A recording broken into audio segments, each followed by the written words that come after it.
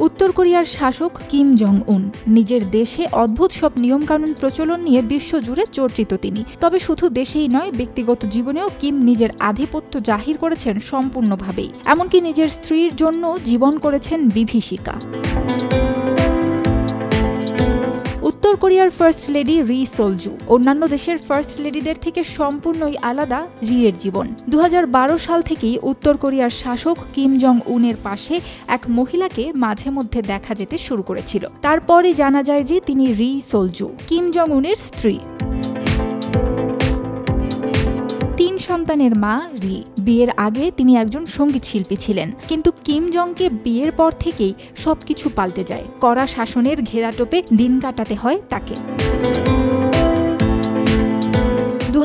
সালে এক প্রকার জোর করেই কিম জং উনের সঙ্গে বিয়ে দেয়া হয়েছিল তার। উত্তর কোরিয়ার প্রাক্তন শাসক কিম জং ইল অর্থাৎ কিম জং উনের বাবার নির্দেশেই রিকে বিয়ে করেন কিম। জানা যায় দু হাজার আট সালে হৃদরোগে আক্রান্ত হয়েছিলেন তিনি। তখনই ছেলেকে এমন নির্দেশ দিয়েছিলেন। উত্তর কোরিয়ার মতো দেশে শাসকের নির্দেশ অমান্য করার স্পর্ধা নেই কারও। বিয়ের পর স্বামীর পদবি গ্রহণ করার রীতি রয়েছে সে দেশে। কিন্তু রির জীবনে অন্য কিছু ঘটেছিল। তাকে নিজের নামও বদলে ফেলতে হয়েছে। স্বামী কিম জং এর ইচ্ছাতেই এমনটা করতে হয়েছিল তাকে। শুধু তাই নয়, তার সম্পর্কে কোনো তথ্য প্রকাশ করা হয় না। তার জন্মস্থান, বয়স, ছেলেবেলা, বাড়ি সব তথ্যই লুকিয়ে রাখা হয়েছে। রিসোলজু কোনো সাধারণ পরিবারের মেয়ে নন। এক শিক্ষিত এবং ধনী পরিবারে জন্ম তার। বাবা কলেজের শিক্ষক এবং মা একটি হাসপাতালের স্ত্রী রোগ বিভাগের প্রধান। তার এক কাকার মাধ্যমেই উত্তর কোরিয়ার রাজ পরিবারের সঙ্গে পরিচয় তার। কাকা সেনা উপদেষ্টা ছিলেন। বিয়ের পর জীবন অনেকটাই পাল্টে যায় রির। নিজের ইচ্ছাতে এখন আর কিছুই তিনি করতে পারেন না। নিজের পরিবারের সঙ্গে দেখা করারও অনুমতি নেই। কি পরবেন, কি খাবেন, কিভাবেই বা সাজবেন, সেই সিদ্ধান্ত নেওয়ার অধিকারও নেই রির। বিয়ের পর প্রথম দিকে আধুনিক পোশাক পরতে দেখা যেত তাকে। কিন্তু এখন আর সেসব পরতে পারেন না তিনি। রি কি পোশাক পরবেন সেটাও ঠিক করে দেন কিম। এখন জিন্স পরাতেও নিষেধাজ্ঞা।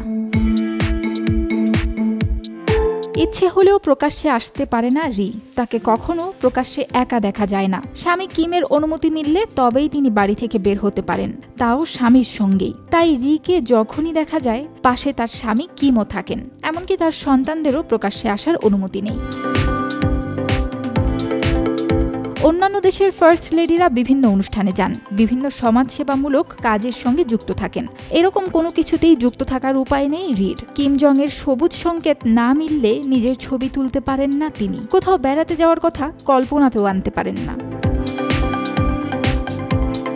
অথচ বিয়ের আগে দেশ বিদেশে গেছেন রি। পড়াশোনা করেছেন চীনে। প্রতিবেশী দেশ দক্ষিণ কোরিয়াতেও গেছেন। কিন্তু বিয়ের পর সেসব পুরোপুরি বন্ধ। দেশের বাইরে বেরোনোর অনুমতি নেই।